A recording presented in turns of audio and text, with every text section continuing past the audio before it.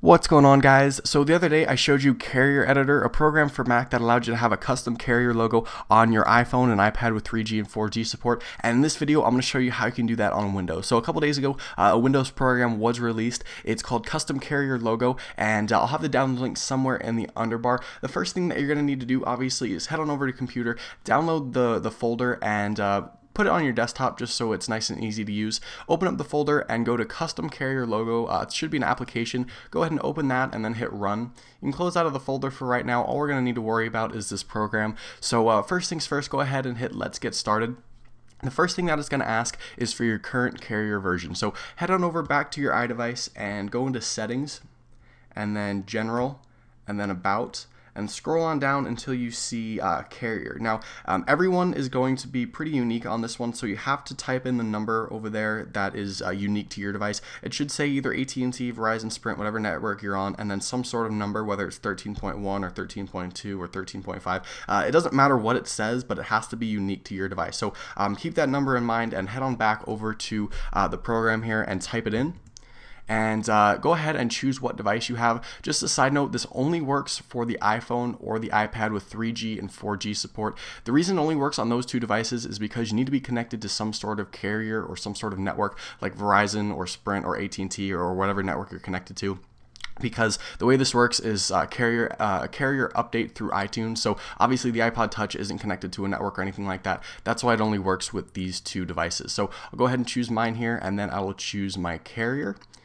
And then uh, you have two options here. Now in Carrier Editor for Mac, you only had the option to, uh, whoops, there we go. Um, in Carrier Editor for Mac, you only had the option to choose between um, images, but uh, on Custom Carrier Logo for Windows, you actually have the option to type in custom text with a whole bunch of different font and stuff like that. So I'll just show you that option. You have a whole bunch of different fonts. You can change the size as well, and you can also change to a whole bunch of different colors. I'm just going to go ahead and stick to the images here just so I can show you guys what it looks like. Um, you're going to need to download one last thing here, which is going to be awfully helpful. Um, you're going to need to download the Zeppelin Logos pack.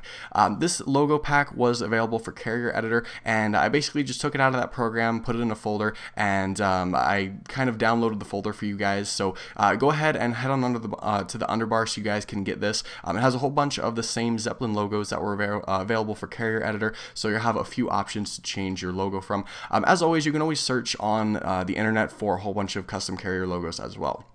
So I'll go ahead and just put in uh, the Dark Knight Batman ones again. Um, so for this, I would highly recommend putting the black logo where the black goes and the etched logo uh, where the etched uh, one goes. So uh, it just makes it a little bit easier and it looks a little bit nicer. So I'll do that one for the black one and then for the etched one.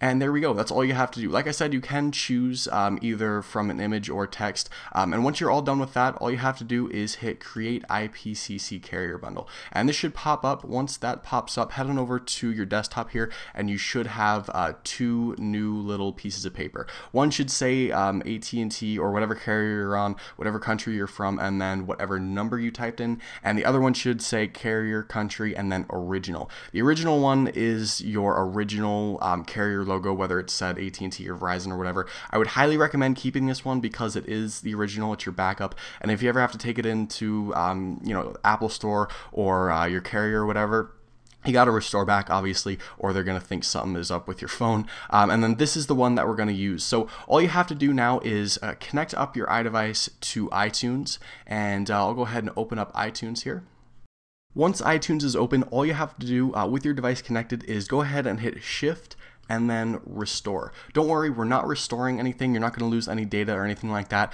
But head on over to where you're uh, where you saved your um, IPCC files. Make sure down here um, you have the option to have IPCC files shown. Um, if you can't, just go ahead and search for uh, whatever carrier you're on, and it should pop up. Make sure you choose the one that uh, is the version you um, typed in. Um, don't choose the original one because obviously that's not going to change anything.